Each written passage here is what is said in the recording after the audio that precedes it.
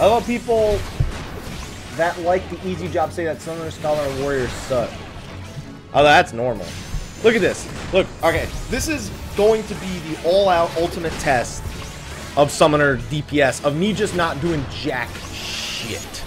I'm gonna, I'm gonna fuck up the rotation.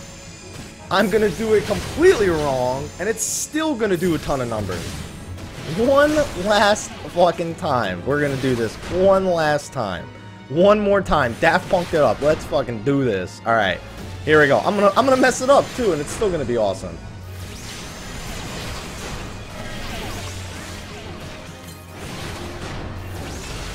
And then fucking G.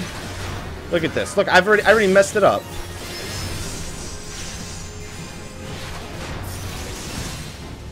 Look at this. Look at all the numbers.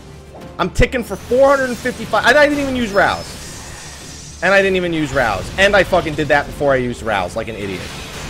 Look at how much damage I... How, look at all the numbers. How are you to tell me this, this job sucks? I'm not even playing it properly and it's fucking OP. Look at this. Okay, I'm just... I'm done. That was fucking it. I'm switching over to Final Fantasy X now. You can replay that over and look at the numbers. They were fucking huge. Okay? They were fucking huge.